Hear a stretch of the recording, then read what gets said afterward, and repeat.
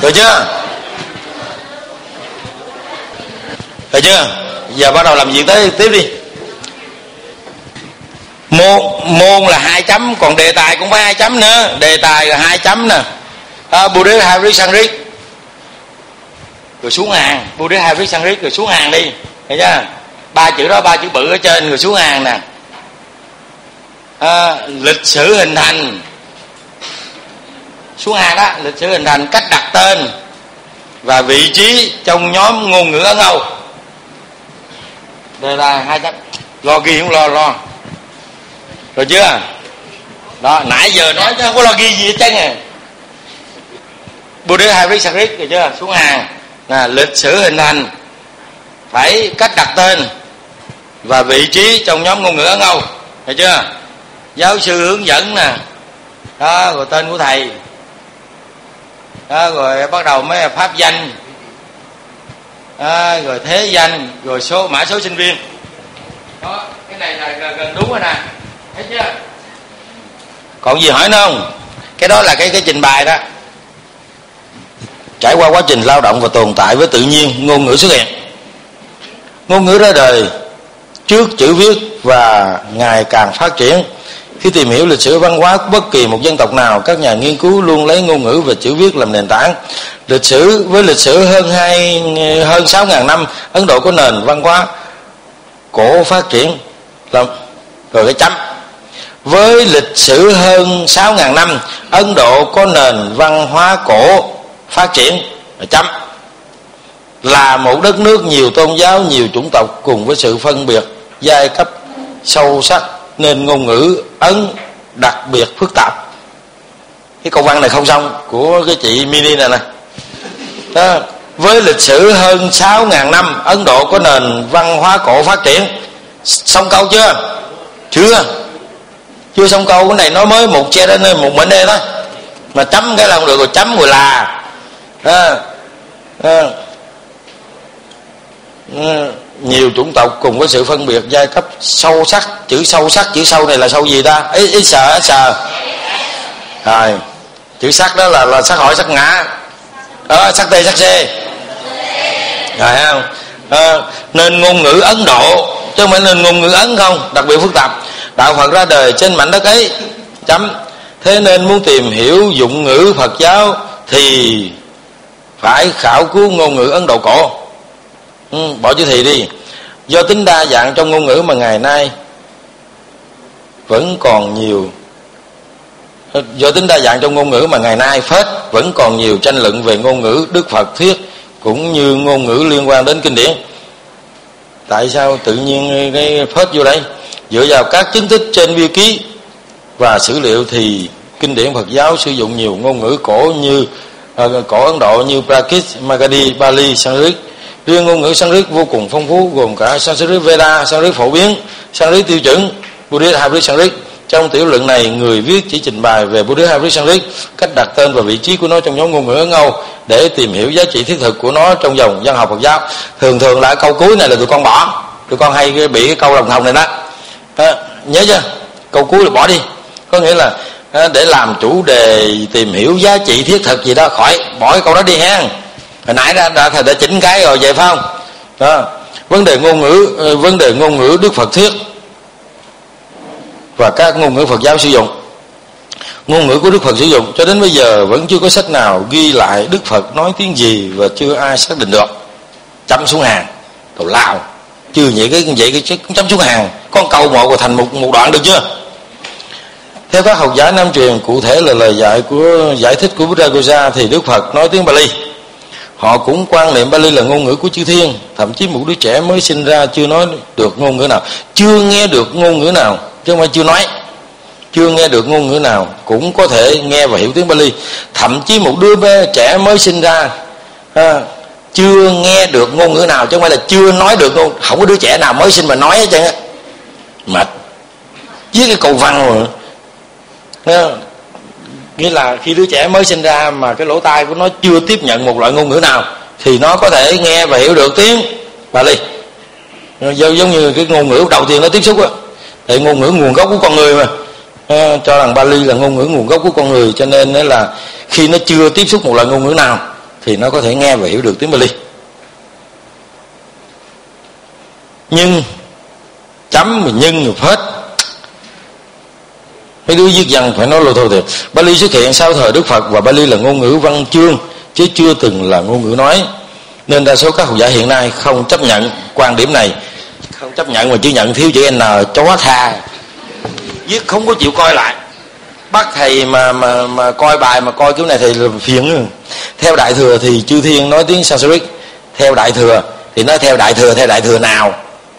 Đại thừa, kinh sách hay là gì? Theo đại thừa, nó không được theo đại thừa thì đức phật nói tiếng sanskrit không được ghi câu văn vậy nữa à, theo kinh điển phật giáo theo theo truyền thống của đại thừa à, nghĩa là nói chung chung vậy chứ nói theo đại thừa là không được nha. Ừ. Đức Phật nói tiếng Sanskrit nhưng căn cứ vào luận tỳ bà sa ghi lại việc hai tỳ kheo đến xin Đức Phật cho phép chuyển lời dạy của Đức của ngài sang tiếng Chanda, Chandoja Sanskrit chứ không phải là Chanda, Chanda là cái mặt trăng chị. Biết thì ghi. Chandosa Sanskrit. Bây giờ ghi chữ Sanskrit thôi đừng có ghi chữ Chandosa còn ghi chữ Chanda, Chanda có nghĩa là mặt trăng đó. Surya là mặt trời, Chanda là mặt trăng. Ghi chữ Sanskrit thôi. Nhưng Đức Phật không cho phép và dạy rằng hãy để cho các dân tộc học lời dạy của Đức Như Lai bằng ngôn ngữ của chính họ.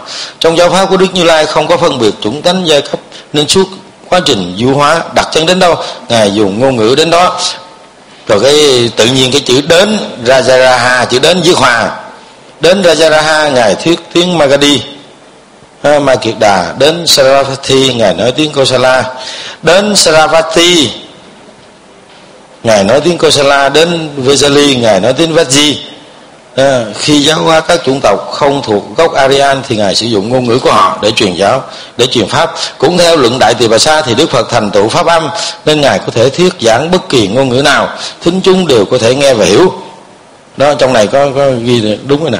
Cái nốt á ờ, do do vậy Đức Phật dùng địa phương ngữ là chủ yếu. Thế nên chỉ có thể đứng trên lập trường nam truyền hay đại truyền. Đại thừa để xác định ngôn ngữ. Nam truyền thì đối với đại thừa thì đối với ừ. tự nhiên ở đây ờ, đứng trên lập trường nam truyền hay đại thừa hai cái này có để đi chung được không? Lao để xác định ngôn ngữ được sử dụng trong quá trình biên tập thánh điển chứ không thể xác định đó là ngôn ngữ đức phật nói. Các ngôn ngữ Phật giáo sử dụng trong quá trình hình thành và phát triển Phật giáo sử dụng nhiều ngôn ngữ Ấn Độ cổ đại như Prakrit, Magadhi, Bali, Sanskrit tạp, Sanskrit Veda, Sanskrit thông tục, Sanskrit tiêu chuẩn và Sanskrit Phật giáo. À. Buddhist Hybrid Sanskrit là ngôn ngữ hỗn chủng Phật giáo. Đó là sự kế thừa tinh hoa phát triển và kết hợp nhiều loại ngôn ngữ cổ Ấn Độ hình thành nên ngôn ngữ Phật giáo. Khái niệm không có chữ khái niệm Buddhist Hybrid Sanskrit định nghĩa Buddhist Hybrid Sanskrit không có khái niệm được khái niệm là cái gì nó mơ hồ à, định nghĩa ở đây là nó dùng chính xác không có dùng khái niệm Buddhist Hybrid Sanskrit được định nghĩa định nghĩa như hồi nãy là một là tên hiện đại để gọi một ngôn ngữ cổ xưa mà Phật giáo đã sử dụng để biên tập, nhất là Phật giáo Đại thừa. Nhớ chưa? Định nghĩa đó, chứ không là khái niệm nghe. Tên hiện đại để gọi một ngôn ngữ cổ xưa mà Phật giáo đã sử dụng, nhất là Phật giáo Đại thừa. Để biên tập kinh điển thế Đại thừa thì chứ ừ. trời bối cảnh xuất hiện của Buddha Risarit này trong nền văn hóa tối cổ Veda có Rig Veda trên 10.000 bài tụng. Viết bằng tiếng Sanskrit như vậy Sanskrit đã có từ thời thượng cổ. Sanskrit Veda lúc đầu 10.000 bài tụng này có viết không? Đã nói lúc đầu là văn học. Truyền miệng nhớ trong đầu. Sau này mới viết. Cho nền văn hóa tối cổ của Veda có Rig, ờ, có Rig Veda trên 10.000 bài tụng viết bằng tiếng Sanskrit như vậy Sanskrit đã có từ thời thượng cổ. Sanskrit Veda là ngôn ngữ cổ. Phật giáo có sử dụng ngôn ngữ này. Ban đầu Sanskrit chưa có ký tự ghi chép nền văn học Phật giáo sơ khai là văn học trường miệng căn cứ vào lịch sử Đức Phật thì uh, ngài nhận sự giáo dục rất hoàn toàn mỹ. Điều đó cho thấy mẫu tự đã xuất hiện. Sau này những nhà nghiên cứu ngôn ngữ khảo cổ đã khám phá ra chữ viết trong vi ký có trước thời vua A dục à, thời kỳ ký tập kinh điển lần thứ hai vẫn mang hình thức truyền miệng nhưng nhân vật đại thiên là vị đã đề xướng ghi lại lời Phật giáo à, đạo, đạo nhân thanh cố khởi thị danh trên Phật giáo. Đến thời vua Ashoka đã ghi lại lời Phật dạy như kinh giáo giới La Hầu La và các sắc dụ trên bia ký ở Lumbini viết theo chữ Brahmi. Sắc dụ trên bia ký ở Lumbini là khác à? Không chữ là chữ Brahmi nhưng mà Lumbini là là sao à? À không phải Lumbini nghe thầy nói không phải chữ Lumbini à? Ở Barak đó có ghi lại sáu cái cái cái kinh đó viết theo kiểu chữ Brahmin loại ngôn ngữ Magadhi đến thời vua Kanishka do sự phân phái Phật giáo sôi nổi kết quả kết tập lần thứ tư cho ra đời bộ đại từ bà sa luật. Khi bộ phái xuất hiện ngày càng nhiều thì việc biên tập đã hoàn thiện. Viết sai chánh tả tùm lum. Không đọc cuốn này nữa. Không có chịu coi lại gì chứ. Không chịu coi lại gì. Đưa, đưa lên cho thầy đọc. Phải coi lại đàng hoàng chứ. Phải có cái dàn bài. Đây là cái dàn bài đây viết chữ sai chánh tả tùm lum hết trơn. Thầy đọc mà sao chánh tả nhiều thì không chịu. Giảng bài nè. Đó, a là phần dẫn nhập, b nội dung. Một là định nghĩa Buddha với Sanskrit. Không có cái dấu gạch ngay giữa của đứa nào đây? Nguyễn Thị Mi nhon gì đây? Là không có cái dấu gạch ngay giữa Buddha với Sanskrit là không có cái dấu ngay giữa. Thầy có viết dấu ngay giữa không? Tại sao đứa nào viết vô đây? Tên gì đây? Đứa nào? Không có đứa nào không đọc của đứa nào? Đứa nhảy coi. Rồi tên gì? Thầy có viết cái dấu vô đây tự nhiên con thà phận cái dấu vô đây. Bắt đầu sáng tạo nữa rồi. Thấy chưa? Lịch sử hình thành nè cách đặt tên nè. Buddha Arisan miễn Buddha Arisan cái gạch cái dấu gạch vô đây gì? Thấy chưa? Nhờ, ngôn ngữ nằm trong nhóm ngôn ngữ ở Âu. Không có bắt đầu với nhóm ngôn ngữ ở Âu giới thiệu nhóm ngôn ngữ ở Âu trước đó rồi bắt đầu mới là vị trí của Buddha Krishna nằm trong ngôn ngữ không nhớ chưa? Đó, nãy giờ đọc kìa kịp không? Một là định nghĩa, hai là lịch sử ra đời. Lịch sử hình thành, ba là cách đặt tên. Được chưa? Bốn là giới thiệu nhóm ngôn ngữ không đó. rồi thứ năm mới tới là vị trí của Buddha Krishna trong nhóm ngôn ngữ không nghe kịp không? Ở đó không lo ghi. Tôi còn nói nữa cái phần mà ngôn ngữ hồi nãy giờ sửa tới sửa lui là tụi con biết rồi, cái gì? Cái phần đó nãy giờ sửa tới sửa lui là phần đó là xong rồi, phải không? Ngôn ngữ đức phật sử dụng, mấy loại ngôn ngữ mà phật giáo sử dụng rồi này nọ. Lịch sử hình thành nè. Các con nhỏ này viết được không? Không được, cho qua luôn. Lịch sử văn học ấn độ là kho tàng khá đồ sộ với nhiều văn hóa khác nhau, trải qua nhiều thời kỳ trong chiều dài lịch sử. Nền văn học Sanskrit ra đời từ rất sớm và có nhiều thành tựu đáng kể. Có thể nói đây là một nền văn học phát triển rực rỡ nhất của các nền văn học Ấn Độ. Ủa? Đó, và có sức mạnh đủ lớn để tồn tại đến ngày nay. Đó trước chữ và mà có dấu hết nữa. Bỏ nghe. Trong suốt quá trình hình thành và phát triển văn học Sanskrit trải qua ba thời kỳ và thời kỳ thứ ba là thời kỳ văn học Phật giáo nền văn học Phật giáo có hai mảng chính. Suốt ba thời kỳ cũng có. Tới thời kỳ thứ ba là văn học à, trải nền trong suốt quá trình và hình thành phát triển văn học Sanskrit trải phải trải qua ba thời kỳ và thời kỳ thứ ba là thời kỳ văn học Phật giáo. Không có. Dòng văn học Sanskrit trải qua nhiều thời kỳ lắm. Chứ không có ba thời kỳ mà tới thời của Phật giáo cái chấm dứt hả? Lao ờ, dòng văn học Sanskrit là phát triển ba thời kỳ và thời kỳ thứ ba là thời kỳ của Phật giáo. Phát triển có ba thời kỳ mà nó đủ sức mạnh tồn tại cho tới ngày nay. Nói câu đó nó không hợp lý, nó trải qua nhiều thời kỳ được chưa? Chứ không có ba thời kỳ không đâu. Nền văn học Phật giáo có hai mảng chính đó là Bali và Sanskrit. Có hai mảng à. Cứ dùng từ mảng hợp lý không? Dùng từ mảng hợp lý không? Nhóm cũng không được nữa. Hai truyền thống á. Truyền thống là ghi kinh điển bằng tiếng Bali. Theo nam truyền của nam truyền và truyền thống ghi à, lời dạy của Đức Phật bằng tiếng Sanskrit theo bắc truyền. Được chưa? Chứ không dùng hai mảng. Theo các nhà nghiên cứu, có thể nói xuất hiện từ thời kỳ phân phái cùng với sự phát triển của đại thừa Phật giáo. Đại từ nó để chỉ cho cái gì đây? Đại từ nó chỉ cho cái gì? Mình không phải là tiếng Anh, mình là tiếng Việt. Nhớ, cứ cứ dịch ra rồi cái để nguyên luôn à. Cái đại từ đại từ nó, đại từ chúng nó ờ, mua mấy cuốn sách chúng nó đọc hay lắm. Được không? Được không? Cái đại từ đại từ thay thế đi. Nói đi nè, cái đại từ thay thế, không thể dùng nó được. Ngôn ngữ thì mình nói là ngôn ngữ ngôn ngữ này dòng văn học này, chứ không dùng từ nó, giống như tiếng anh. Tiếng anh họ dùng cái từ ờ, cái đại từ thay thế. Số ít thì dùng chữ ít, số nhiều thì dùng chữ đây đúng không? Tránh tiếng việt chúng ta không có dùng đại từ thay thế kiểu đó. Nhớ chưa? Dặn cả lớp à không có thể dùng đại từ thay thế kiểu đó nha. Khi đức phật diệt độ chừng hai thế kỷ, những tác phẩm văn học phật giáo trong thời kỳ đầu được viết bằng một phần bằng tiếng Sanskrit và một phần bằng phương ngữ của vùng Trung Ấn. Rồi sau đó đồng hóa thành Sanskrit và nó được mệnh danh là Sanskrit pha trộn. Vì nó được trộn bằng tiếng Prakrit, chứ chưa phải là Sanskrit thường túy. Các tác phẩm Phật giáo viết bằng Sanskrit Buddhist Sanskrit xuất hiện sau khi Banini Banini đã là, đã hoàn thành việc chuẩn hóa Sanskrit vào đầu thế kỷ thứ tư trước dương lịch sau công trình của Banini thì tiếng Sanskrit trở thành ngôn ngữ vượt trội trong văn học và triết học Ấn Độ. Chính ông là người hệ thống lại tiếng Sanskrit đặt ra luật lệ, tiếng ngôn ngữ có trước rồi sau đó mới có văn phạm. Ngôn ngữ Sanskrit sau khi được Banini chỉnh sửa luật lệ, hoàn chỉnh thì gọi đó là Sanskrit tiêu chuẩn. Sanskrit tiêu chuẩn đó, Sanskrit tiêu chuẩn đó, nó dùng ngôn ngữ để biên tập văn chương và triết lý. Nghe câu việc không việc rồi tay không tay. Cái thứ này là nói là là ăn ăn ăn cực khổ quá rồi nói thành ăn cứ khô.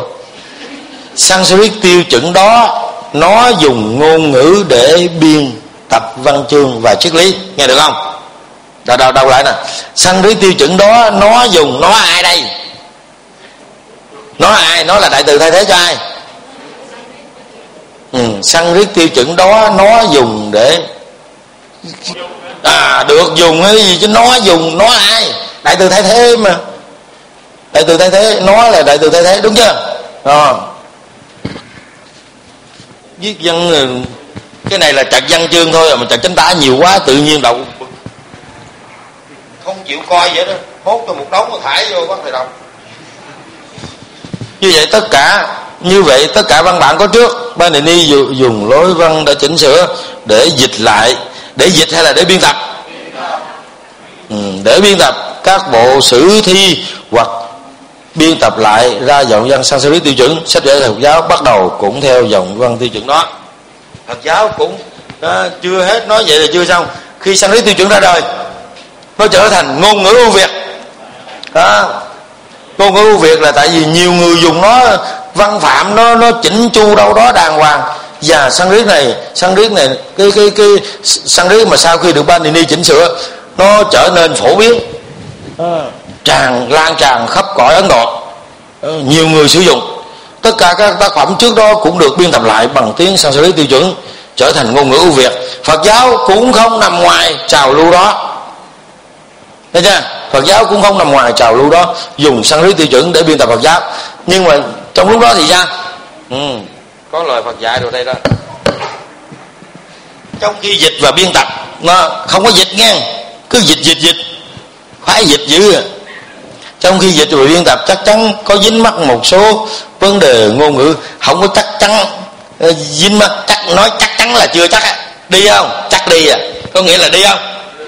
Chưa chắc đi. À, à, hỏi đi không? Chắc chắc đi. Như vậy là có chắc chưa? Chưa. Cái tiếng việt mình nó khó chịu lắm mà à, Ờ. Ờ, nó tôi tôi tôi thường thấy nó nó tới đó. Đôi khi tôi thấy nó tới đó. Như là tôi tôi hay thấy nó chung vô bụi lùm. Tôi hay thấy là lâu lâu thấy một lần gọi là hay thấy.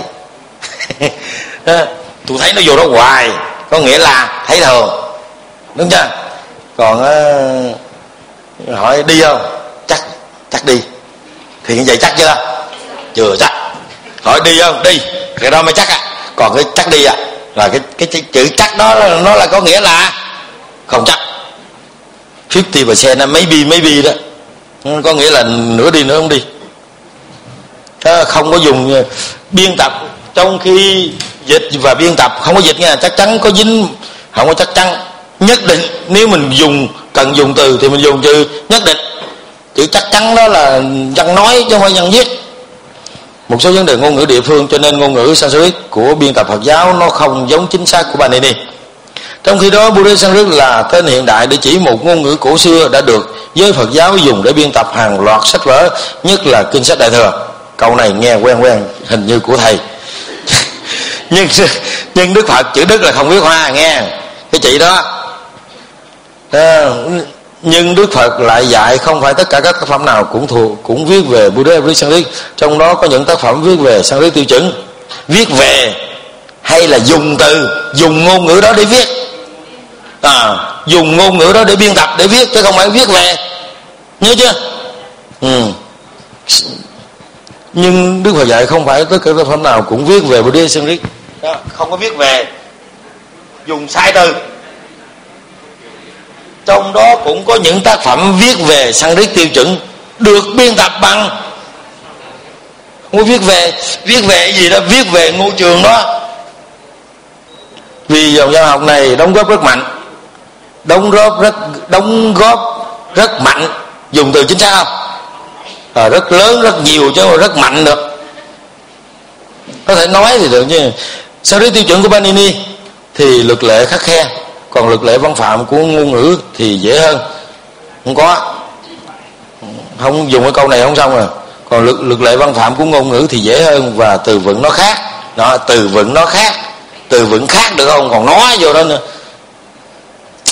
Dịch ờ, từ tiếng anh dịch ra mà không biết lượt bỏ mấy cái này. Nhìn vô tôi thấy cái đuôi dài lú dài cho một khúc. Trong khi đó ngôn ngữ sanskrit veda cũng nó cũng mang một ý nghĩa khác có văn hóa. Nó không khắc khe như tiêu chuẩn sang hướng bởi vì nó có mục đích là truyền đạt ý tưởng là như vậy mấy đứa này sao không có đứa nào chịu đọc hết trơn phải không? Cứ làm ra thảy đại cho thấy gì? Cái khúc này nè cái khúc này nhiều đứa cứ đặt nè. À, cứ cứ chép vô là theo Araki Norman thì Bali cũng nên được xem như một dạng Buddhist với Sanskrit. Theo Franklin Egerton, lại cho rằng Bali về cơ bản là một loạt tiếng Prakrit. Ở những nơi mà Buddhist với Sanskrit khác biệt với Sanskrit thì nó lại gần giống y hệt như Bali. Tuy nhiên, hầu hết những tác phẩm viết bằng Buddha với Sanskrit hiện còn tới nay thì nguyên thủy được viết bằng Buddha với Sanskrit, chứ không phải. Cái đoạn này là cắt bỏ nghe. Đứa nào có giữ cái đoạn này trong cái bài của mình thì cắt bỏ. Nhớ chưa?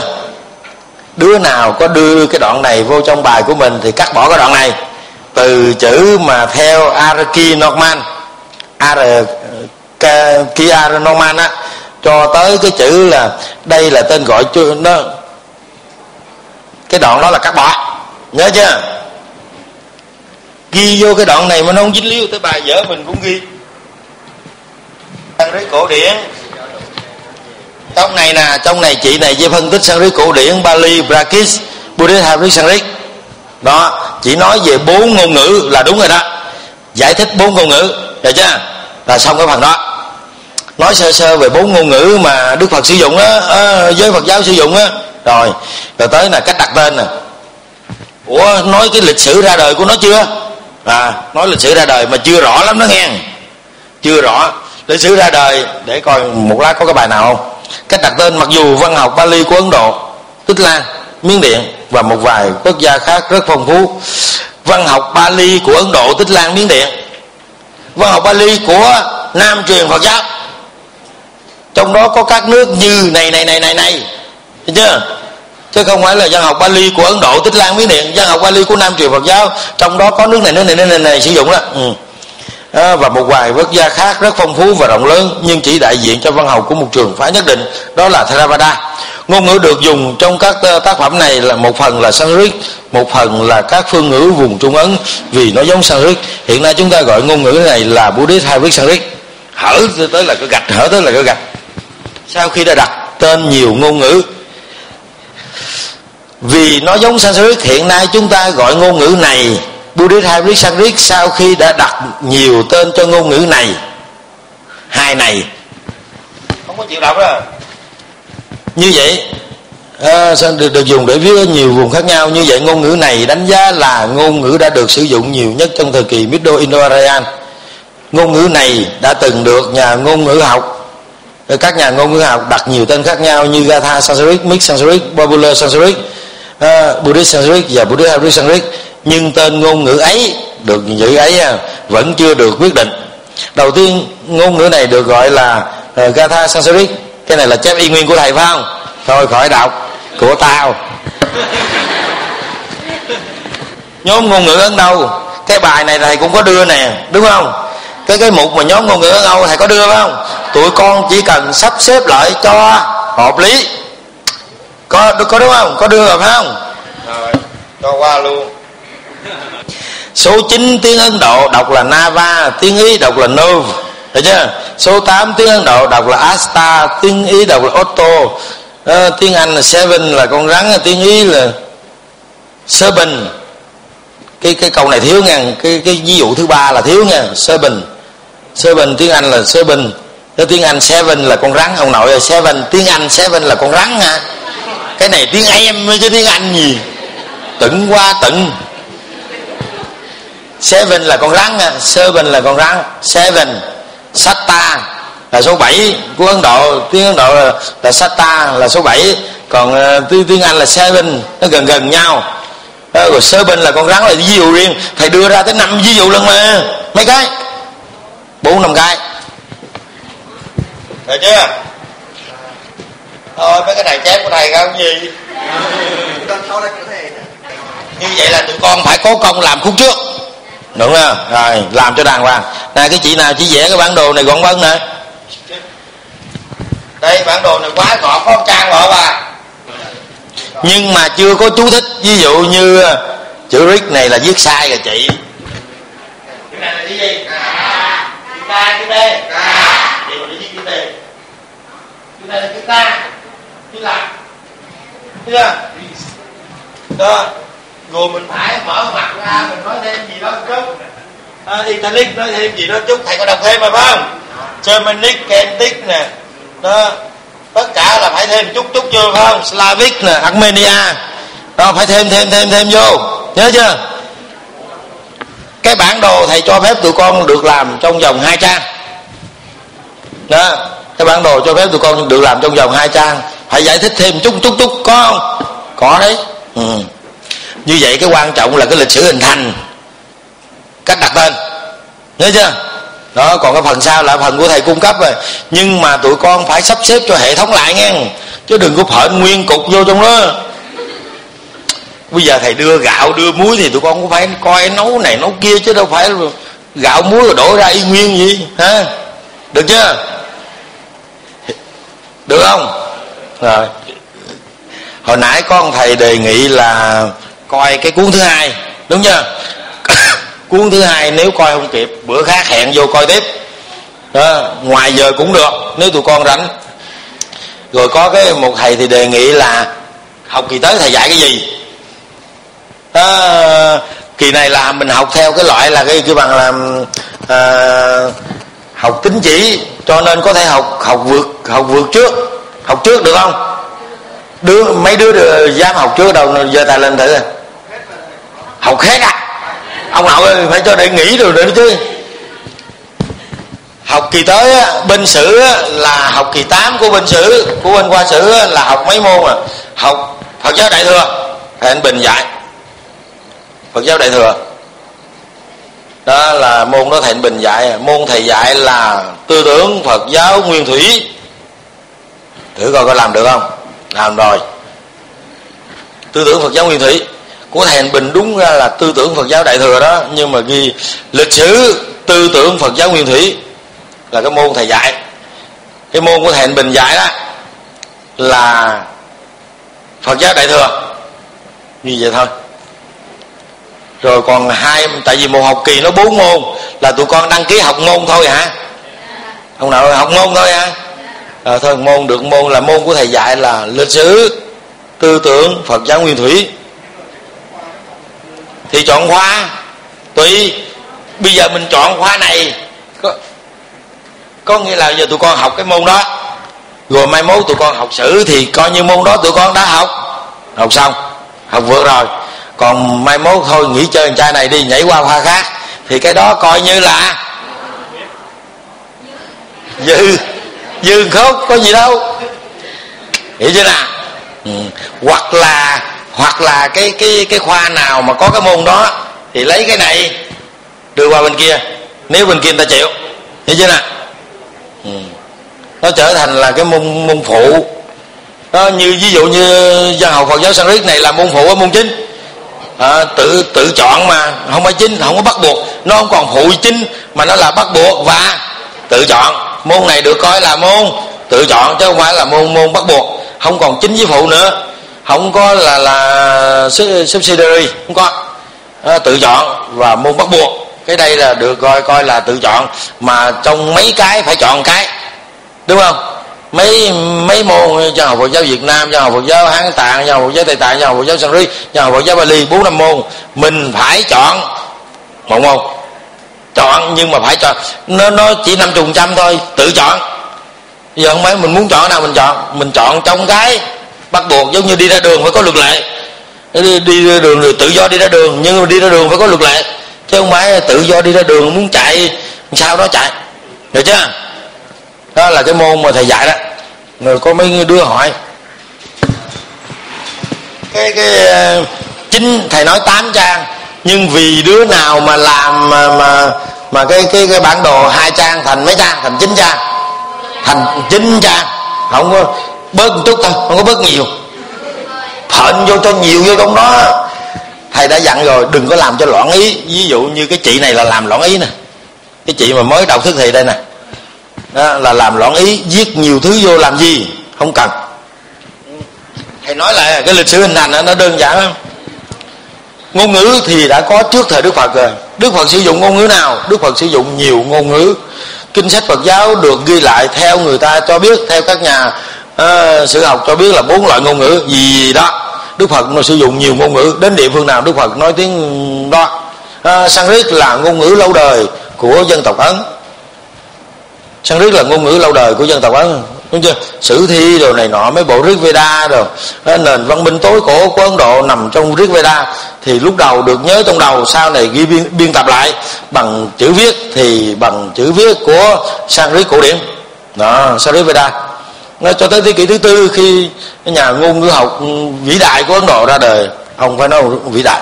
Ông ra đời thì Banini mới biên tập lại, mới điều chỉnh lại luật lệ rồi của Sanskrit cổ điển, cho ra đời một ngôn ngữ mới, đó là Sanskrit tiêu chuẩn. Sanskrit tiêu chuẩn khi ra đời nhanh chóng, lan tràn khắp xứ Ấn Độ, phổ biến khắp xứ Ấn. Tại vì cái tính ưu việt của nó, tính ưu việt của ngôn ngữ này, luật lệ đâu đó chặt chẽ không có thể đọc một câu mà hiểu thành hai được. Hai hai vợ chồng cái gì đó vợ chồng gì đó một cặp vợ chồng hai con gì đó thì người ta đọc cứ chồng hai vợ không à. Một vợ chồng một vợ chồng hai con vợ gì đó rồi thiên hạ cứ cười miết đó, đó. À, vì Sanskrit tiêu chuẩn ra đời nó tiêu chuẩn là tại sao tiêu chuẩn? Luật lệ rồi đâu đó nó hoàn thành. Lần trước thầy có nói là ông làm bao nhiêu luật lệ? Mấy ngàn luật lệ. À đó, để ông sắp đặt đâu đó là nó hệ thống lại hết điều này nọ mấy cái âm mấy cái âm đọc hay là mấy cái ngữ pháp đồ ông sắp lại đâu đó nó hoàn thiện hết rồi. Thì đó, cho ra đời ngôn ngữ mới gọi là Sanskrit tiêu chuẩn. Đó, thì Sanskrit tiêu chuẩn khi ra đời nó nhanh chóng nó lan tràn khắp xứ Ấn Độ. Nhiều người sử dụng nó bởi vì tính ưu việt của nó đó, của loại ngôn ngữ này. À, tất cả ưu việt của nó được sử dụng à, đến cao trào có nghĩa là những cái bộ sử thi lúc trước ghi bằng Sanskrit cổ điển cũng được biên tập lại bằng Sanskrit tiêu chuẩn. Đó. vì nó, nó, nó trào lưu này trào lưu sử dụng Sanskrit tiêu, tiêu chuẩn á nó khắp cõi Ấn Độ khắp xứ Ấn Độ cho nên giới Phật giáo cũng không thoát khỏi trào lưu này. Đó, Phật giáo cũng bắt đầu sử dụng Sanskrit tiêu chuẩn nhưng mà khi sử dụng Sanskrit tiêu chuẩn thì có trái lời Phật dạy hay không? À, đại tỳ bà sa lượng có trích lợi là hai thầy tỳ khe xin gì đó đó. Đó là thứ nhất. Thứ hai nữa khi mà Đức Phật dùng địa phương ngữ thuyết pháp thì có một số địa phương ngữ không dịch ra được. Tiếng Sanskrit phải giữ địa phương ngữ. Ờ, phải giữ địa phương ngữ. Vừa là trái là Phật dạy rồi phải vừa giữ địa phương ngữ. Mà địa phương ngữ là có một địa phương hay nhiều địa phương? Nhiều địa phương. À, và cuối cùng Sanskrit tiêu chuẩn à, vừa sợ trái lời Phật dạy vừa giữ địa phương ngữ à, rồi cộng thêm hỗn chủng với hai ngôn ngữ của vùng Trung Ấn Độ. Từ đó cho ra đời một ngôn ngữ mới đó là Buddha Sanskrit được chưa? Nói thì điều muốn cặn kẽ luôn ngồi đó ngủ đi. Có ghi không? Đâu thèm ghi. À, chắc không? Đâu đọc lại thầy nghe. Được chưa? À, định nghĩa thì đơn giản lắm. Định nghĩa đừng có dưới vòng vòng. Buddha Sanskrit là tên gọi hiện đại để chỉ một ngôn ngữ cổ xưa mà giới Phật giáo sử dụng. Trong đó nhiều nhất là Phật giáo Đại thừa. Giờ có thể nói là 95 phần trăm 90 phần trăm kinh sách của Phật giáo Đại thừa được biên tập bằng ngôn ngữ này. Buddha Sanskrit được chưa ta nói thế điều muốn quịch tẹt ra, chưa chịu nữa thôi. Được chưa? Ngày mai đi chơi nè. Để dứt khoát cái cái này đi. Đứa nào hỏi cái gì? Về cái đề tài nãy đó. Cái đề tài mua đứa đi sang đấy đứa nào còn nghi ngờ cái nào hỏi? Đứa nhà hỏi. Là dễ nhất. Dạ con kính bạch thầy và đại chúng. Là cho con hỏi là bây giờ cái dàn bài thống nhất hay là dàn bài thống nhất. Rồi nói nói hết, hết đi đi. hay là dàn bài của mình tự soạn ra thầy cho con biết. Cái dàn bài thầy có cho không? Có. Không? Bây giờ thấy cái dàn bài này nó chưa hợp lý thêm cái khác vô hay hơn được không? Được. Được. Hay hơn cứ làm. Đừng có lâu thâu thâu viết tắt bhs là tiếng anh á. Mình cứ ghi bình thường đi. Còn nếu mà thấy nó dài quá, đừng đừng có viết tắt. Thầy không thích nữa. Ừ. bây giờ đánh đánh máy là nó cho phép mình à, mình cài cái mã, phải không? Mình đánh ba chữ đó vô, mình nhịp một cái là nó văng ra liền gì? Đúng không? Nó cho mình cài mã đó mà thầy già, thầy còn biết rồi tụi con phải biết đó hơn này chứ mình cài cái mã, mình đánh chữ bhs mình đánh chữ Buddha xong ờ, là ờ, chọn nó hết đi, rồi đưa qua bên đây mình cài ba chữ bhs mình đánh chữ bhs vô, mình nhịp cái b 3 một cái là nó nhảy ra liền ba chữ, đúng không? Biết không? Nó không biết, có đứa nào không biết không? Đâu, đứa nào không biết đâu? Không tin. Cái đám thầy chùa con bây giờ nó dốc dữ lắm. Xạo xạo không à hả hả hả cái cách đó là nếu mà không biết thì coi đứa nào biết học đi. Ví dụ như chữ Việt Nam, mình không cần đánh hết chữ Việt Nam, mà mình đánh chữ VN mình nhịp b 3 là nó như rằng là chữ Việt Nam ngay. Cái cách mình đánh ờ, ví dụ như mình đánh một cái văn bản nào mà có chữ ờ, nam mô đại bi quán thế âm, nam mô đại bi quán thế âm, nhiều lần lặp lại quá, thì mình cài mình cài khoảng ba phím, bốn phím à, thì mình cài ba phím bốn phím mình đánh cái mình nhịp b 3 cái là nó răng ra nam mô đại bi quán thế âm liền. Nó có cái cách đó. Tụi con hiểu không nè? Nếu không biết thì hỏi mấy nào đứa nào biết nó chỉ cho. Mình đánh một cái văn bản nào mà cái chữ đó nó nhiều quá thì mình được quyền mình cài cái chữ đó. Mình cài hai phím ba phím. À, là nó nó ra nguyên câu nguyên câu luôn á. Không biết cái đó à? Tụi con thuộc loại là không phải lạc hậu nữa mà là lạc nhất á. Cái đó nó có đấy thầy biết cái đó từ hồi bên ấn mà. Vô máy là người ta biết mấy cái thủ thuật đó đánh nhanh lắm. Rồi chưa? Có nghĩa là cái dàn bài được quyền làm cái dàn bài kiểu khác chứ không phải là y theo cái dàn bài của thầy. Được chưa? Rồi chữ viết Buddha viết Sanskrit nên viết luôn không viết hoa à, không viết tắt à, cái cách mình ờ, viết là mình có thể cài trong máy được. À, nếu đứa nào chưa biết thì nên hỏi mấy đứa biết để nó chỉ cho cái cách đó. Khi mình đánh một văn bản mà cái chữ nào nó nhiều á cái từ nào nó nhiều hoặc là nguyên câu cứ lặp đi lặp lại hoài là cài. À, mình nhịp chừng hai hai phím à, là nó ra nguyên một hàng luôn. Mình cài hai phím ba phím là xong. Nếu chưa biết thì nên học. Rồi còn cái nào nữa? Cái lịch sử hình thành thầy đã nói rồi cái định nghĩa thầy đã nói rồi nghe. Đó, ngôn ngữ ấn âu lịch sử ngôn ngữ ấn âu thầy đã dạy rồi ờ, bài cũng đưa rồi. À, rồi cái bản đồ cũng đó đứa nào vẽ bản đồ đẹp ăn tiền chỗ đó đó. Cái bản đồ á, như hồi nãy cái chị đó chỉ liệt kê không à. Có cần phải giải thích chút chút chút chút không? Càng rõ chừng nào càng tốt chừng đấy. Ừ. và cho phép hai trang. Không được bản thân nó có bản đồ. Được cho được phép trong vòng hai trang. Hồi nãy cũng có đứa nào nộp lên là hai trang. Đó, thì nó leo qua tới trang chính thì không sao. Có đứa làm được rồi đấy. Không chịu làm mà đó nhăn.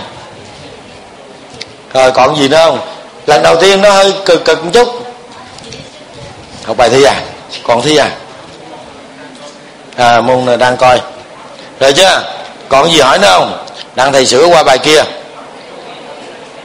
bản đồ giải thích không? Tất cả là thầy đưa hết rồi đó. Đầu tiên hết là từ một góc các nhà ngôn ngữ học. Trong đó có sự tham định nghĩa cái nhóm ngôn ngữ ngầu á. Lịch sử của nó là các nhà ngôn ngữ học. Bắt đầu từ thế kỷ thứ 16 phải không? Các nhà ngôn ngữ học là thương gia nè. Mấy cái đoàn mà truyền giáo của thiên chúa giáo, họ để ý họ để ý thấy là ngôn ngữ của ấn độ và ngôn ngữ châu âu có nhiều điểm giống nhau. À, và cái lịch sử hình, hình thành của nó là mới bắt đầu ông này để ý một chút ông kia để ý một chút ông nọ để ý một chút ông nọ ghi chép một chút dài dài cho tới sau này thì mới được chính thức đặt tên là nhóm ngôn ngữ ấn âu. Đúng chưa nào? Sở dĩ nó giống nhau à, là nó có nhiều thứ giống nhau. Từng thời đại thời đại người ta đưa ra nó giống nhau. Rồi cho tới khi mà 1830 mấy đó phải không? Ông Escott đó ông mới đưa ra thì theo ông, theo nghiên cứu của ông. Thì sao? Đầu tiên hết là, thấy không? Từ đây nó ra là, xem tâm dạ đó rồi chứ rồi từ đây nó xuống ra mấy cái, từ đây nó xuống ra mấy cái. Có không? Đó, mấy gai mấy gai rồi, ví dụ như trong cái này, nó ra rồi nó tách ra nữa. Nó tách ra nữa. Nó tách ra cho tới là indo. Aryan rồi trong indo Aryan này nó tách nữa không? Tách nữa tách nữa. Người phật giáo nằm trong cái mito à, ờ, trung kỳ. Trung kỳ rồi trong cái mito này nó chia làm ba nữa nè. Ha. Rồi phật giáo nằm trong thời gian học phật giáo nằm trong giai đoạn nào? Không phải là vô ích đâu. Cái này là chuẩn bị ghê lắm rồi cái thế hệ của tụi con là sẽ được đi học xa học nhiều hơn thế hệ của thầy. Cái này là mai mốt và tới chừng qua tới bên ấn rồi trời ơi hồi đó học được này mừng quá. Mấy đứa đi, đi qua bển không, không học cái này qua bển chết. Tới chừng lên mà nói bằng tiếng à, anh không mà nói học về cái này đặng bắt đầu học vô.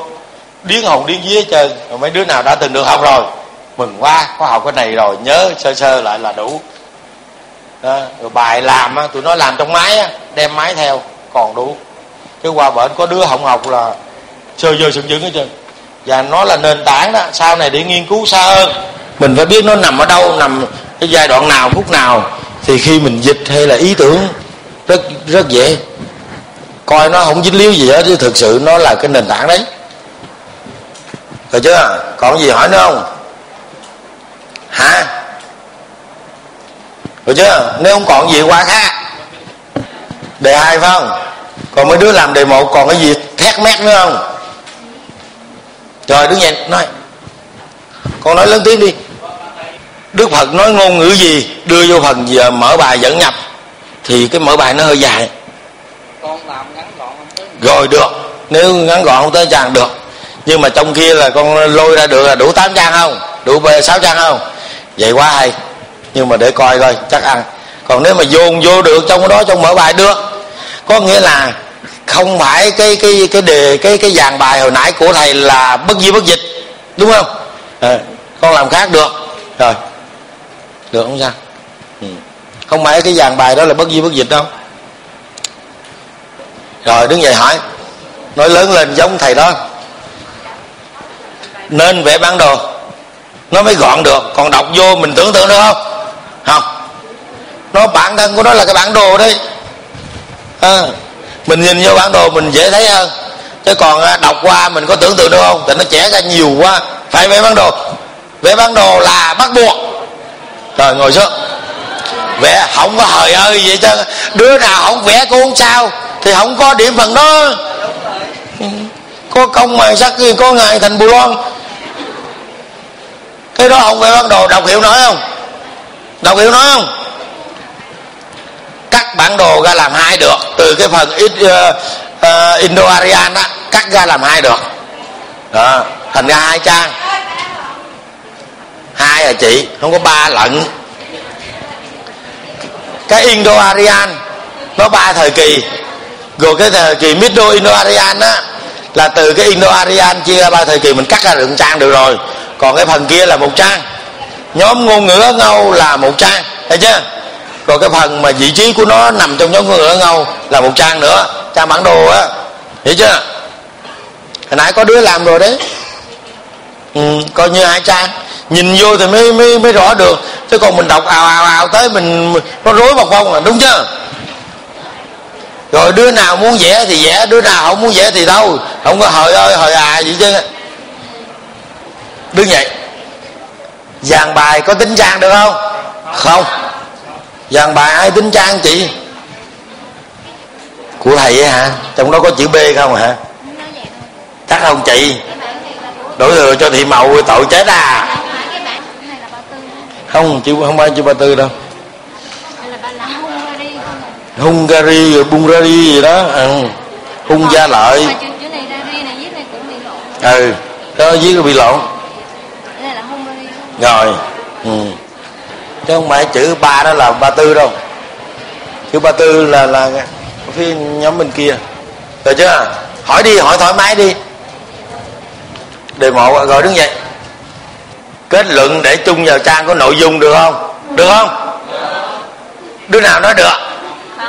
Đứa nào nói không? Được không? Bây giờ thầy nói cho con nghe nè. Mình làm mình coi được không? Nếu mình coi được người khác coi được. Mình làm mà mình coi không được thì người khác coi được không? Coi cũng được luôn ngồi xuống. Đại khái là vậy nè làm cho nó rải ra. À, để mà nó chùm nhum lại nhìn thấy nó rối không? Làm rải rải ra coi cho nó nó, nó ừ đơn giản là tại bao nhiêu trang? Không có 10 trang. Kêu trường trả thêm tiền đi thì thầy chấm 10 trang hả? Đúng 8 trang cái phần mà giới thiệu sơ về văn học à, Phật giáo con chưa có rõ lắm thì có thể nghe băng lại. Giới thiệu sơ về văn học Phật giáo nghe chưa rõ. Hỏi cái đầu túa cái đầu luôn á. Bữa đó có đi học không? Có chắc ngủ gì? Về nghe băng lại cái khúc đó giới thiệu sơ đâu có gì đâu đơn giản mà. Rồi hỏi gì? Vậy hả? Làm dữ vậy không hỏi thâu chi làm như tôi thèm hỏi luôn như rồi đứa nào gọi giới thiệu sơ, nó đơn giản lắm. Cái bữa đầu tiên thầy nói, ít à nó không có nhiều đâu. Bữa đó ít à không có nhiều. Ừ. chứ học Phật giáo, lúc đầu là văn học, truyền miệng. Phải không? Rồi sau đó mới được ghi lại. Thời đại nào thì có, thầy có nói sơ. Cho tới giai đoạn nào thì người ta thấy là đã có dấu vết của sự ghi lại. Nhưng mà lúc đầu ghi lại đơn giản thôi sau này mới biên tập thành hệ thống đâu đó đàng hoàng. Rồi chưa? Còn gì nữa không? Hai, ba cái cái quân sư mũi dùi đó, ngồi tôi bắt lên đây ngồi hết. Thầy này, thầy chịu quá, thầy lên đây ngồi giùm tôi. Ba đứa đó đứng dậy lên đây ngồi coi ba cái cô này đó là đứng dậy. Một, hai, ba, đứng dậy, leo lên đây ngồi ngồi tôi cho lên trên bàn kia ngồi luôn rồi ngồi đó mà sọt mũi dùi. Mấy chị hỏi, chị nào? Ra đây, lên đây. Bây giờ, một. Hỏi tên là tôi trừ điểm là đi liền à. Lên đây. Rồi khỏi chỉ mũi dùi gì chứ. Hỏi, không chịu hỏi. Được chưa? Xong chưa? Đặng thầy qua cái, tụi con cứ hỏi thoải mái đi, thầy cho hỏi. Đặng thầy thầy, tụi con hỏi đừng có ngại. Thầy dạy tụi con thầy dạy mà. Thành ra là cứ hỏi đi rồi có gì thầy chỉ thầy nói. Cho xong đi thầy sẵn sàng bỏ thêm một buổi nữa để về để chỉ. Rồi. Rồi đứng đứng vậy hỏi nói lớn đi. Còn mà chia theo tác phẩm các giai đoạn của uh, Buddhist Traditionalist uh, ừ, ừ. còn bỏ vô trong uh, chỗ hình thành hay là bỏ chỗ vị trí? Bỏ cho vị trí. Ừ. bỏ cho vị trí các tác phẩm nào giai đoạn nào thì mình bỏ vào? À, vị trí đó không à, ờ, lịch sử hình thành thì đâu có lịch sử hình thành ngôn ngữ Buddhist thì đâu cần nói mấy cái đó. Cũng như trong giai đoạn Middle Indo-Aryan thì uh, Middle Indo-Aryan chia làm ba là Old Middle Aryan, Old Middle Aryan rồi Middle Middle Aryan rồi later. Thì cái cái tác phẩm nào nằm trong giai đoạn nào thì bỏ vô trong cái, những cái giai đoạn đó có hồi nãy mới nói rồi, hỏi lại. Mỗi một thứ vậy mình phải thêm chút chút vô. Đặng người ta biết cái đó là cái thứ gì? Có, thầy có giải thích thêm bữa trong lớp không? Có không? Ngôn ngữ của nước nào nước nào có không? Không có ghi gì. Có đấy, thầy có thầy có nói đấy. Trong mấy tờ giấy có cái tờ rồi chưa? Tụi con còn gì nữa không? Không ấy là thầy làm qua bên cái này à có một bài là cái đề thứ hai nè. Còn hỏi cái gì của đề mộng nữa không? Không có là thầy hỏi, đề hai. Thầy thầy nói về đề hai nha cái mở đề để coi, mở đề, đọc sơ cái mở đề của một cái nào đó của ai đây? Đừng có đừng có màu mẹ này tốn mực à. Hồi nãy có ông nào than là in là không có, mực nó không có đậm thôi lấy mực của cái trang này nè. Để qua cái trang kia nghe không?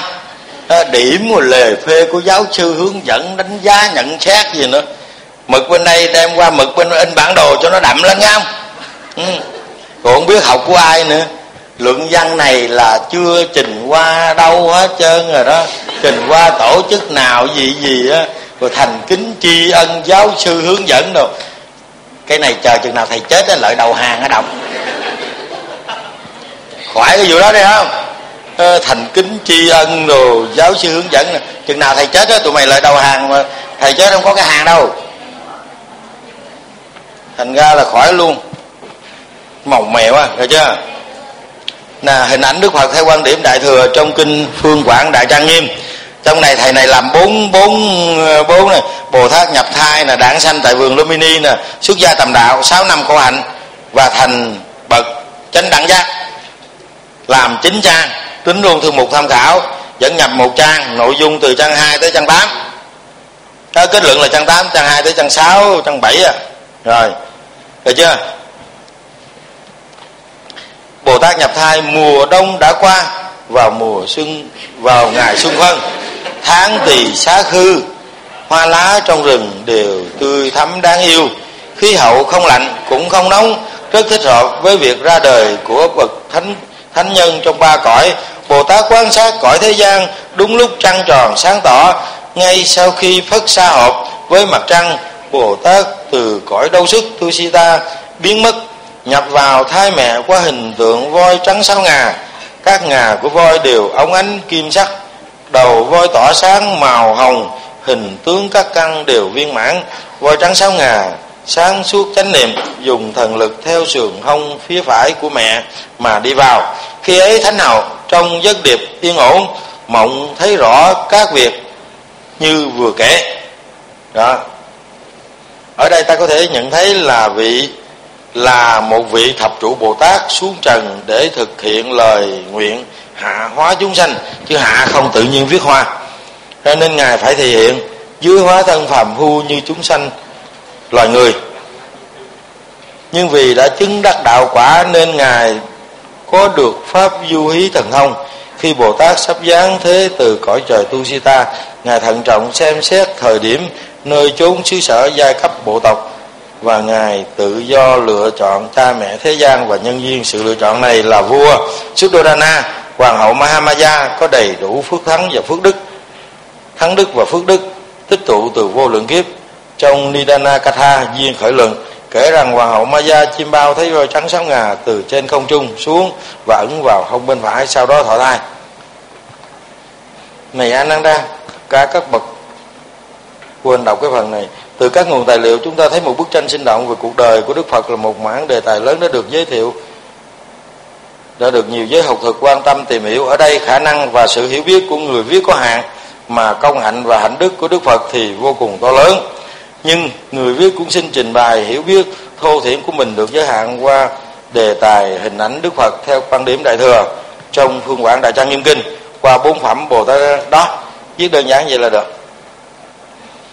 Để coi thầy, thầy này đánh giá là cái gì đó cái khúc hồi nãy á thầy chích trong kinh xong rồi thầy tóm tắt lại. À, rồi chích trong kinh một khúc voi trắng tượng trưng cho bạch tịnh nghiệp ngài giáng trần vì lời nguyện của một vị bồ tát đắc đạo nghiệp của bồ tát đã hoàn toàn thanh tịnh à, trong voi trắng trong trắng như đó bạch liên hoa. Không phải như phàm phu tái sanh do nghiệp dẫn dắt. Voi trắng sáu ngà là một biểu tượng của bồ tát với hành nguyện cứu đời. Voi tượng trưng cho sức mạnh sự hùng dũng luôn hướng về phía trước. Sáu ngà biểu đạt hình tượng bồ tát lúc thành tựu lục độ. Ba la mật và thái tử cũng là chấm và thái tử. Ừ, thái tử cũng được sinh ra từ hông bên phải. Điều này cũng không có hiểu đối với người ấn. Vốn xem bên phải là thiên liêng màu nhiệm bằng chứng là họ người ấn xem bên phải là thiên liêng màu vậy mà đứa nào nói đây? Vậy ra đường đi bên trái không à? Ấn độ là tụi con nhớ đi ra đường đi bên trái nghe. Ấn độ nó theo anh. Ấn độ á mình đi mình mình đi ra đường mình đi bên phải phải không? Ấn độ là nó đi ra đường đi bên trái. Anh đi bên trái. À, à, anh đi bên trái. Thái lan đi bên trái phải? Thái lan bên trái phải thái lan đi bên trái. Mà thái lan đâu có từng là là là là bị anh thuộc đâu ta? Mà thái lan đi bên trái. Nhật đi bên trái phải. Nhật đi bên trái. Nhật đi bên trái. Thành ra là cái trái phải đó cũng lộn xộn lắm nha. À, đừng có đừng có chưa gì hết. Rồi dân ấn độ coi là đứa nào đây? Dân ấn độ coi bên phải là thiên liêng. Khoan đã. À, còn kia bằng chứng là họ luôn đặt hình tượng tôn kính về phía bên phải. Có đâu nghe như vậy, biểu tượng cho sự tốt đẹp thuận chiều, tức là thuận chiều niết bàn và nghịch chiều sinh tử. Thái tử hiện thân của bồ tát là một bậc siêu phàm. Thâm, tâm thuần khiết sạch trong, cư trần bất nhiễm trần, không bị cuốn hút bởi dòng xoáy của luân hồi sanh tử. Trái lại ngài đã vượt khỏi mọi khổ đau ràng buộc của dục trần và đem chân lý giác ngộ giải thoát độ người cùng vượt thoát. Cái này chỉ tán thôi, chứ chưa có bình luận gì quá trình nhập thai của đức phật được xem là hy hữu ngay từ khi nhập vào thai mẹ. Bồ tát chánh niệm tỉnh giác do thần lực của ngài khi ấy mà tâm thánh mẫu vui vẻ, an tịnh như vào thiền định, thân bà luôn được khoan khoái nhẹ nhàng, không có lỗi thâm muốn tham dục sân nhế ngu si. Và bà thấy bồ tát trong lòng bà như thấy một sợi dây vàng nhạt trong một viên ngọc trong suốt. Và cũng nhờ thần lực của Bồ Tát, và nếu ai bị mắc bệnh hiểm nghèo như hủi cùi ung điếc, khi gặp thánh hậu cũng đều được tiêu dứt bệnh. Bồ Tát hội nhập ta bà vì lòng thương xót chúng sanh nên phải thể hiện làm thân chúng sanh và cứu độ. Lòng thương xót chúng sanh, tình thương đó chính là tâm đại từ đại bi của Bồ Tát. Ngài đem tâm đại từ bi ấy trải khắp cho những người đau khổ xung quanh Ngài. Vì thương xót cứu độ nên những chúng sanh vì nghiệp sâu dày còn đang phải mang thân súc sanh quả báo. Bồ Tát trong tiền thân đã nhiều lần bố thí cải bố thí cả tài sản vợ con và thân mình để cầu đạo nên ngài mới được thành phật và đây chấm và đây cũng là nấc thang cuối cùng cần phải được vượt lên để thành phật. Hồi nãy thì ở trên nó đã thành phật rồi ở dưới thì nói à, đây bên đây. Đó, ngài giáng trần vì lời nguyện của một vị bồ tát đắc đạo. Đó, nghiệp của bồ tát đã hoàn toàn thanh tịnh. Cái này đã được coi như là đánh giá hai đoạn đánh giá đoạn kinh trên chưa? Chưa chưa gọi là đánh giá. Cái đây còn tụi con mới tóm tắt lại thôi nói cái ý nghĩa thôi. Chứ chưa có đánh giá. Nhận định ấy. Đức Phật tại sinh tại vườn Lamini nè. Đức Phật đản, sắp đản sinh vương cung hiện ra điều tướng lành lạ với những điều lành như các đại thọ sắp uh, hoa sắp nở có bảy hàng cây báo hai mươi muôn hai muôn bảo tràng từ với đất ờ, dưới đất vọt lên, bốn phía đều có mùi thơm, có chư thiên trội nhạc, tất cả mọi thứ chuyển rung động. Đặc biệt là trong hư không, diễn nói âm từ vi diệu, diễn sướng ngôn ngữ lành thai lành thai. Khi thánh hậu được vua Sudarana cho phép, bà về quê sông thân ở Devadaha để sinh con trên đường về.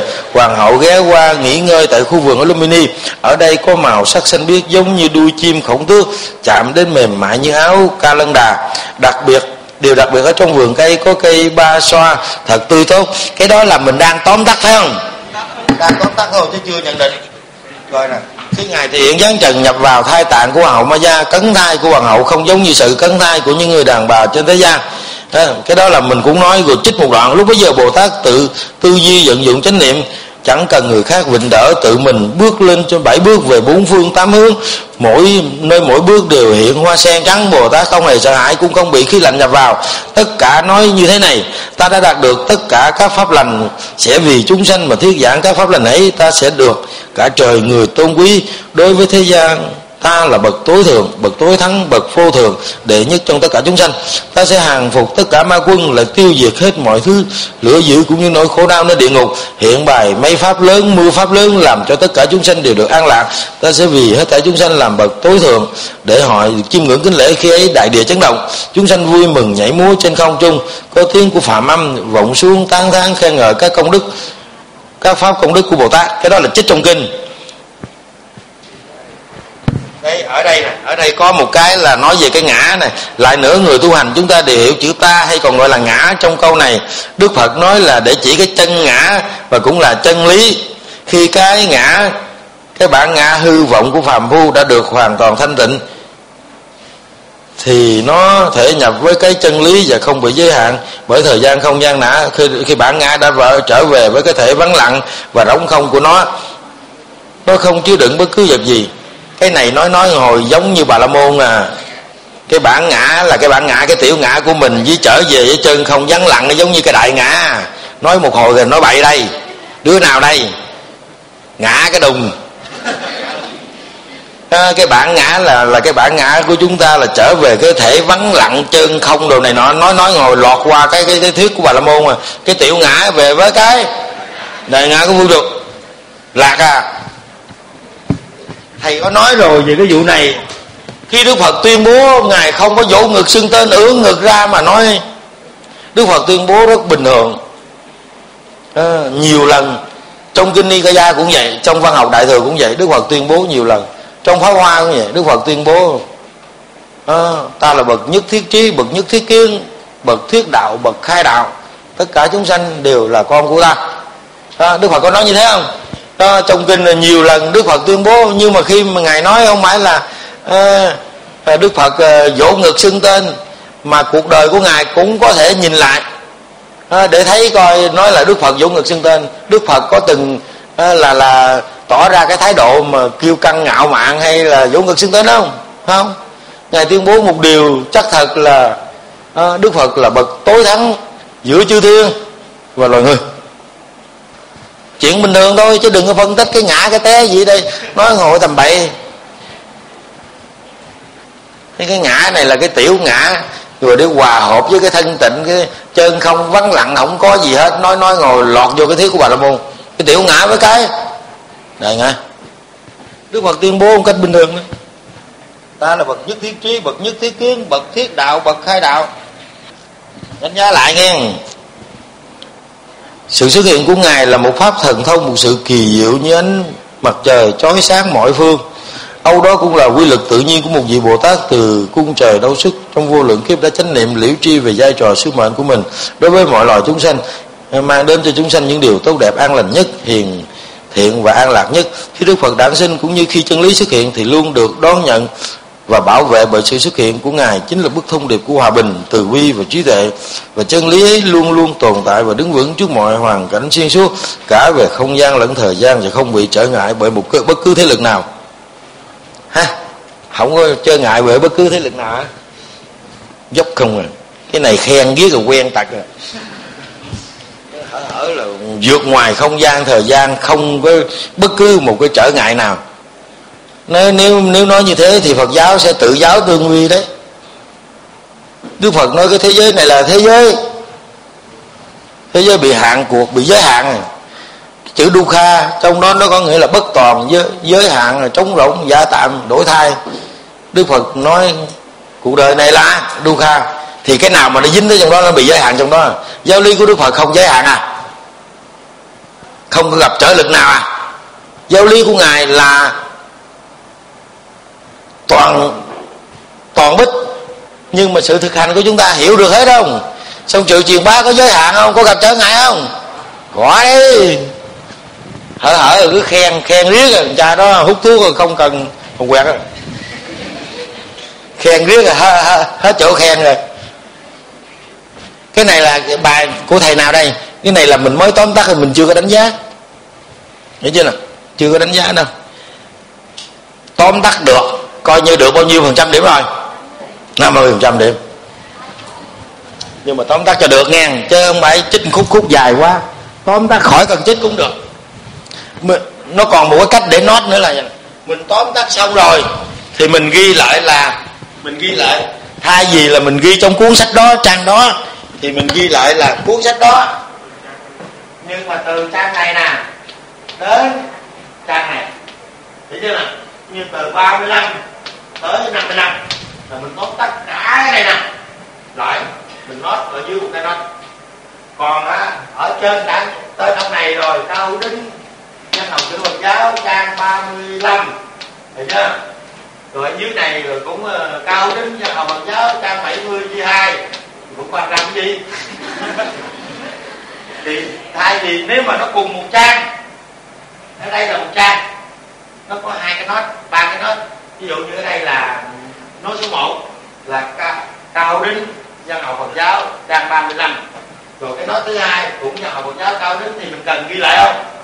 Mình ghi chữ sách đã dẫn cùng trang nghe nhớ cùng một trang mới được nghe. Chứ không có tự nhiên cái đầu cái trang này sách đã dẫn dẫn cuốn nào. Hiểu chưa nè phải cùng một trang đó thì ở trên này đã cao đứng rồi dưới này không cần cách chắc cao đứng nữa. Để ghi sách đã dẫn trang trang mấy rồi có một cái này có, có tiếp một cái cuốn khác nhảy vô. Thì cái cuốn thứ tư mặc dù nó cùng cùng với hai cái đó ở trên nhưng phải ghi lại. Nó khác rồi. Rồi ở dưới cái đó thứ năm thì mới được ghi là thế là dẫn lại. Hiểu chưa? Nói vậy nghe kịp không? Đứa nào nghe không kịp? Mở băng nghe lại. Ghi sách đã dẫn khi nào cùng trang cái nó đầu tiên hết mà ghi sách đã dẫn. Này, dẫn vào cuốn cái trang kia được không? Không. Sách đã dẫn là đã có một cái cuốn trước đó rồi. Nghĩa là cái nó số 1 á. Hiểu chưa nè hiểu không? Con bắt tờ ra đi. Được chưa? Tóm tắt, nếu tụi con tóm tắt cái phẩm đó không thì được, cái phần mình muốn nói thì được năm chục trăm điểm. Bình luận, chứ không phải gọi là là là là mình luận mà, chứ không phải là khen. Đức phật mà cứ khen hoài, tụi mày khoái khen phật mà. Dĩ nhiên, phật thì tối thượng rồi, còn gì nữa khen? Khen phò mã tốt áo à. Nó không có khen, luận. Sáu năm khổ hạnh cũng vậy nên nè. Để coi cái khúc nào luận rồi thầy đọc rồi còn cái này là ờ, sáu năm khổ hạnh cũng là tóm tắt thôi. Con đường, còn những đau đớn cái chữ những còn những đau đớn tự nhiên chữ những viết qua lên. Khổ hạnh với mức cùng cực cũng không dẫn đến, thậm chí là lực cản không cho trí huệ phát sinh. Nghĩ như vậy, ngài đã quyết định thay đổi đường lối tu hành. Khi mà đức phật muốn thay đổi đường lối, ngài nghĩ đường lối lợi dưỡng với tất cả sự đầy đủ chỉ làm nô lệ cho những đòi hỏi của xác thân. Còn những đau đớn khổ hạnh tới mức cùng cực cũng không dẫn đến, thậm chí là lực cản không cho phát sinh, chứ vậy phát sinh. Vậy thì con đường đưa đến chân lý phải là con đường thứ ba, không lợi dưỡng và không khổ hạnh. Sau khi ngài đã nhận được bát sữa từ nàng sujata, cúng dường thân thể ngài dần dần phục hồi. Và ngài liền một, ngài liền tới một gốc cây bồ đề bắt buộc thầy nào đánh đánh máy cái này là chuẩn à không có chặt lỗ chánh tả giống như mấy chị lôi thôi.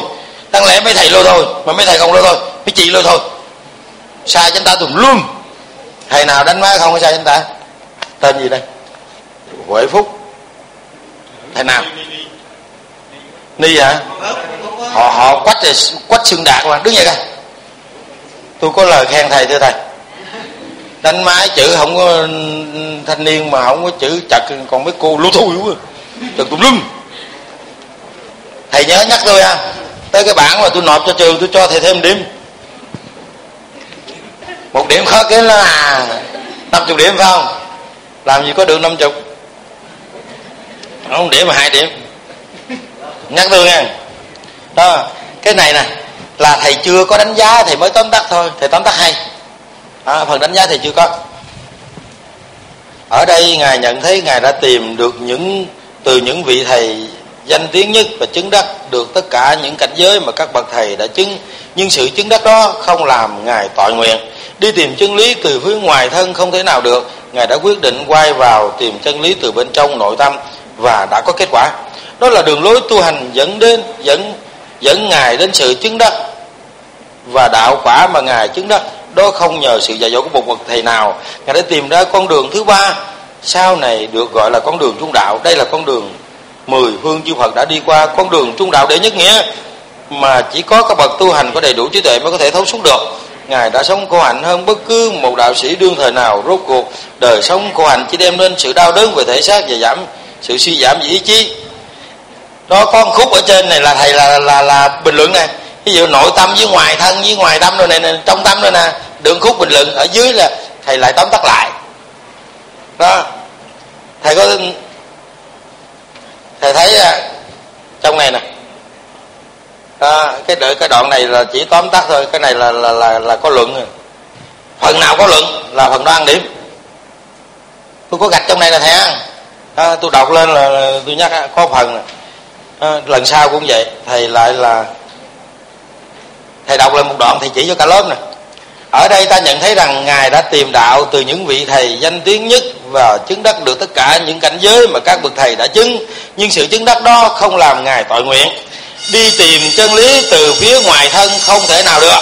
Ngài quyết định quay vào tìm chân lý từ bên trong nội tâm và đã có kết quả. Đó là đường lối tu hành dẫn ngài đến sự chứng đắc và đạo quả mà ngài chứng đắc đó không nhờ sự chỉ dạy dạy dỗ của một bậc thầy nào ngài tìm ra con đường tu thứ ba sau này được gọi là con đường trung đạo. Đây cũng là con đường mười phương chư phật đã đi qua con đường trung đạo để nhất nghĩa mà chỉ có những bậc tu hành có đầy đủ trí tuệ mới có thể thấu suốt được. Cái này được coi là luận được không? Được không? À được. Còn cái khúc sau là cứ lại tiếp tục là tóm tắt thôi. À, cứ luận khúc khúc không cần luận nhiều. Chút chút chút là ăn. Đại khái. Cứ luận khúc khúc là là có điểm đừng có tán nhiều quá rồi bây giờ sao 15 phút nữa nghỉ luôn dạ. mai khỏi lên dạ. nói cho hết ý thì giờ thầy đọc một vài cái không ví dụ như trong này nè ở đây chúng ta thấy hình tượng Bồ Tát khi xuất thai trong bụng mẹ cất bảy bước đi cũng như truyền thống các vị Phật trong quá khứ. Trong ý nghĩa này, theo ngôn ngữ Phật học, bảy bước đi ấy là lộ trình thực lộ trình thực tập tu hành để trở thành một bậc một vị Phật. Bảy bước đi được hiểu là thất giác chi nghĩa là bảy yếu tố giác ngộ của một đức Phật. Đó là trạch pháp giác chi, tinh tấn giác chi, khinh an giác chi, hy lạc giác chi. Được không? Thầy chưa đồng ý lắm với cái quan điểm là bảy này là bảy giác chi đây là một cách áp đặt thôi cả vú lấp miệng em đâu chưa phải là là là, là một cách giải thích mà mà hay đâu ừ. sau khi ờ, đi bảy bước thể hiện sự tinh tấn dũng mãnh của mình, ngài có thể khẳng định thiên thượng thiên hạ duy ngã độc tôn. Thật vậy, chỉ có ngài là bậc duy nhất xứng đáng họ nhận sự cúng dường, vì thế tôn là bậc hàng phục ma quân. Giác ngộ thanh tịnh dứt trừ sạch nhiễm ờ, những nhiễm ô của các dục tham sân si, không còn chi phối với phiền não trần lao. Đức phật là bậc vĩ nhân, bậc tối thượng trên cõi đời, vì ngài đã vượt trên tất cả chiến thắng mọi tham dục bình thường, trở thành người vĩ thường đây cũng là yếu tố để giải thích lý do trên trời, dưới đất. Không phải trên trời, dưới đất, trên trời, dưới trời, dưới đất có ai ở dưới không? Trên trời rồi dưới trời trời ở trên là có trời, dưới là dưới trời chứ không phải dưới đất. Dưới đất là có con gì chung dưới à? đất, ở trên mặt đất chứ không ai nói ở nhớ nghe, trên trời thiên thượng thiên hạ, trên trời dưới trời, chứ không phải trên trời dưới đất. Dưới đất ở dưới không có ai dưới đâu mấy con trùng con dưới đâu nhớ chứ nè? Nói từ cho đúng trên trời dưới trời thiên thượng thiên hạ. Chứ không phải nó trên trời dưới đất. Trên trời dưới đất à, tôi cũng sợ ai hết. Còn nhiều nghĩa là trên trời dưới đất à, không sợ ai. Còn nhiều sợ hết. Thì con chưa biết cách làm. Nghĩa là vậy nè mình phải bình luận. Luận tóm tắt một đoạn đó rồi. Thì cái tư duy của mình về cái đoạn đó như thế nào mình nói. Chứ không phải mình cứ khen khen khen khen hoài. Mình khen phật thì khen biết bao nhiêu sách vở người ta khen đức phật rồi. Hả? Mình khen chưa chắc bằng hay bằng ta nữa. Không phải khen mình luận. Cái cái điều mình suy nghĩ. Nó về cái cái cái đoạn này không cần nhiều một đoạn thôi. À, mình nghĩ sao? Cái vụ này. À, cái cái cái tư duy riêng của tụi con á có thể đúng có thể sai nhưng mà nó là cái của của mình. Trước cái đó. Học mà học từ từ lên. Chứ còn vô mà cứ khen riết vậy là không sao. Đó.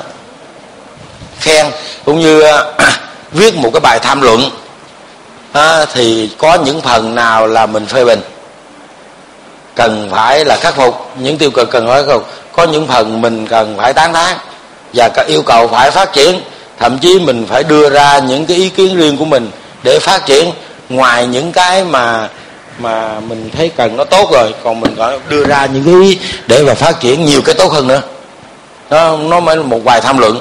Chứ một bài tham luận ra cứ viết cứ khen tới nước à. Nó không thành bài tham luận nữa. Đọc lên nó chán ngắt à. Ừ. Mà cái kiểu việt nam mình như thế ừ. mình phải nói cái tư duy của mình.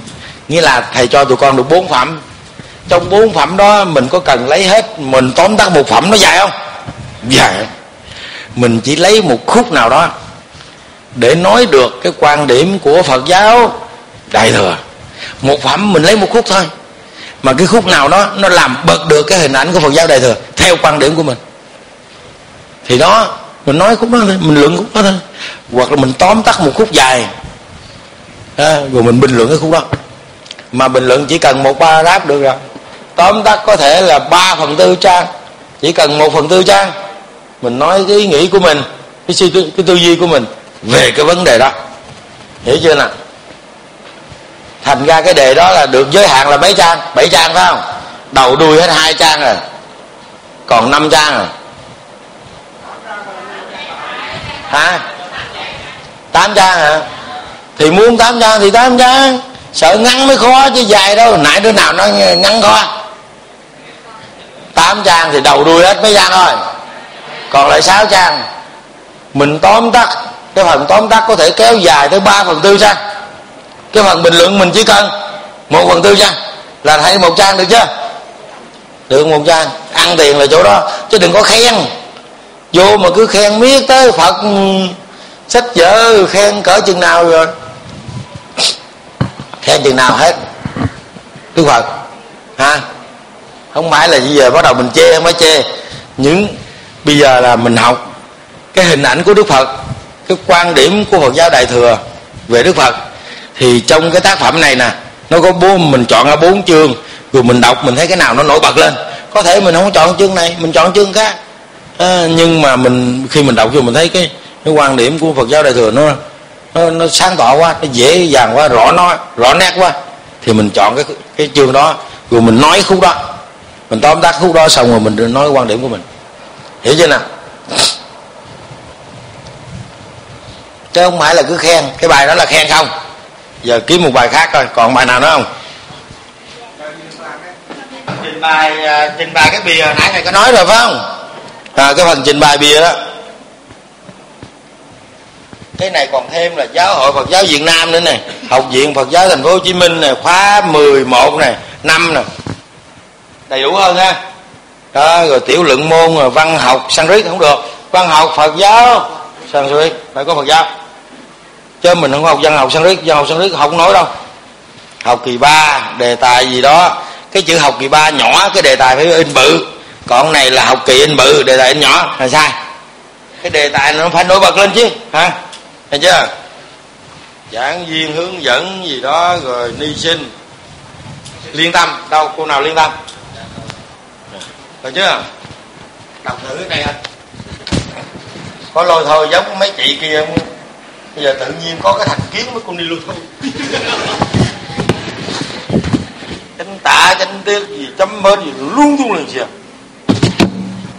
Lalita Vitara Sutra, kinh, phương quảng, đại trang nghiêm là bản kinh cổ thiên liêng nhất của dòng dân học Phật giáo nữa. Cái này là sai là bản kinh cổ thiên liêng nhất của dòng dân học Phật giáo Sanskrit được không?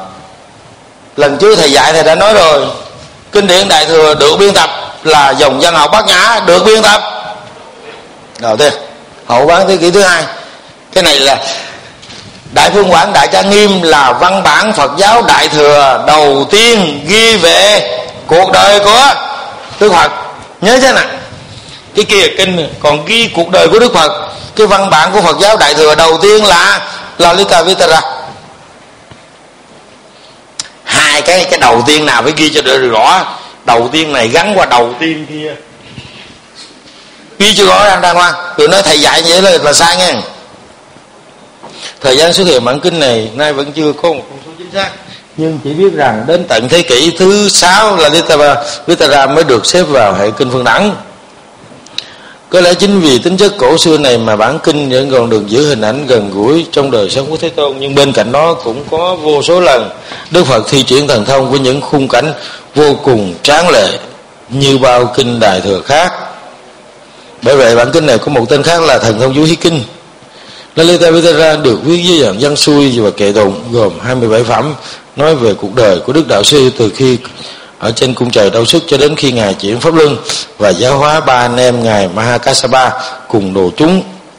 Xuyên suốt bản kinh, Đức Phật hiện lên như là một vị công hạnh viên mãn, phước trí viên dung, một đấng siêu phàm tuyệt thế và đầy đủ thần thông biến hóa.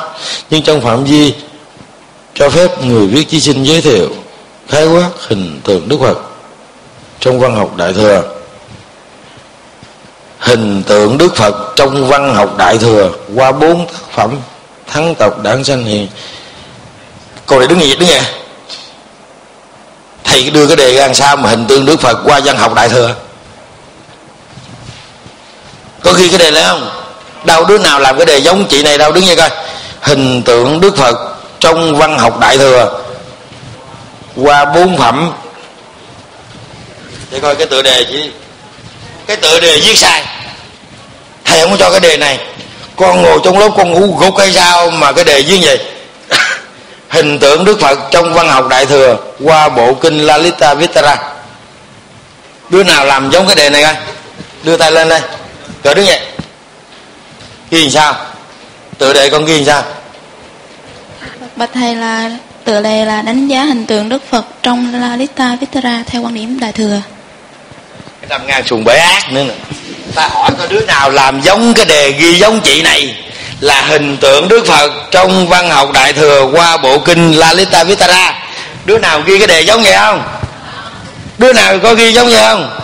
Con mình chị này phải không? Ngồi đó ngủ hay sao? Ghi cái tựa đề ghi không xong, rồi làm lung tung. Ghi, ngồi đó ngủ sao? Rồi hai đứa kế bên cũng ngủ luôn phải không? Cái tựa đề ghi kìa thầy có cho cái tựa đề này không? Không cần chỉ đánh giá hình tượng đức phật. Theo quan điểm đại thừa trong la Lita Vitara trong đó mình đánh giá mình nhận định ấy chứ còn mình có, có cần ghi chữ đánh giá vô đây không? Không. Đúng là mấy chị lôi thôi không ghi thiếu thì ghi sai. Ba đứa rồi nghe. Ghi lôi thôi sửa lại cái này không?